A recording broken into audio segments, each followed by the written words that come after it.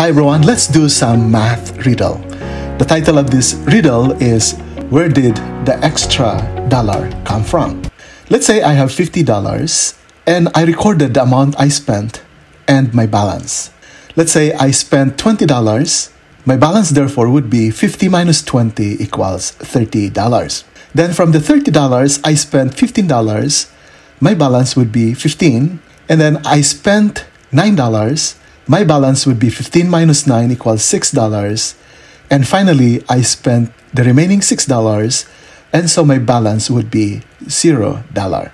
If I get the total of each column, 20 plus 15 plus 9 plus 6 gives us $50 for the spend column, and 30 plus 15 plus 6 plus 0 gives us $51. What happened? There is an extra $1 here. Where did that extra dollar come from? You can pause the video and analyze this riddle.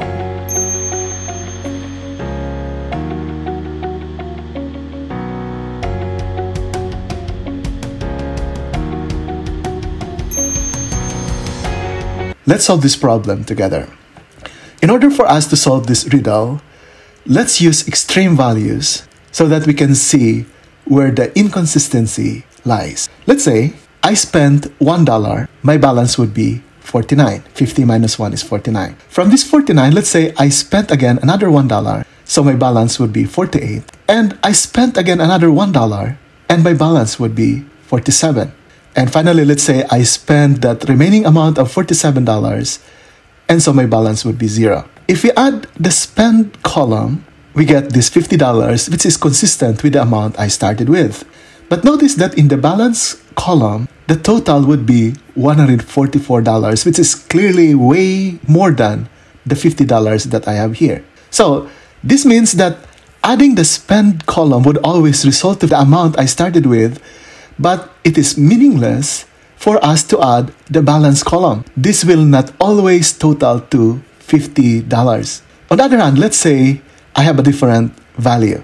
Let's say I started with $50 and I spent the entire $50 right away, and so my balance would be zero. Therefore, the total of this spend column is 50, and for the balance, it's zero, which is way different than this $50. So I hope at this point it is now clear that adding the balance column is meaningless. This will not give us the same values over and over because Depending on the amount you spent, this balance column would fluctuate. And when you add those results, you will not always get $50 for the sum. The only column that's meaningful to add is the spend column. There is no use of adding this balance column. And that explains why there appears to be an inconsistency right at the beginning when we presented the riddle. So thank you very much and we hope to see you again in our next math video. Bye for now.